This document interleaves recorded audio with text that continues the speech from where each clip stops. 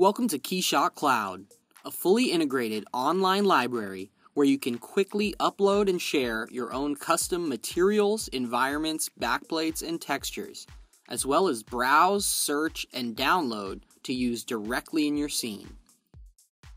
When Keyshot Cloud is launched from the toolbar, you'll be prompted to log in or create an account.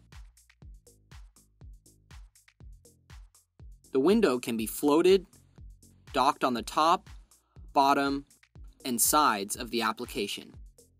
Search for resource names, tags, and users. Or browse by ordering or filtering. Display content in list or thumbnail view, and select a resource for more details and the ability to like, download, comment, and report. Want to download more than one resource at a time? Multi-select by holding Control on Windows or Command on Mac, and right-click to add selected to library.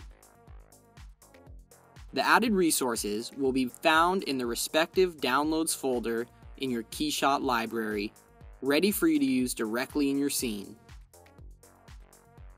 Materials, environments, backplates, and textures that are saved in your library can be uploaded to share on Keyshot Cloud by selecting one or many and clicking the Upload button or through the right click menu. The upload process will require a name, description, and tags. Once complete, your resource will instantly be available for other Keyshot Cloud users to add to their own libraries. With Keyshot 5, Powerful features like Keyshot Cloud enhance your rendering workflow and expand the possibilities of what you can create.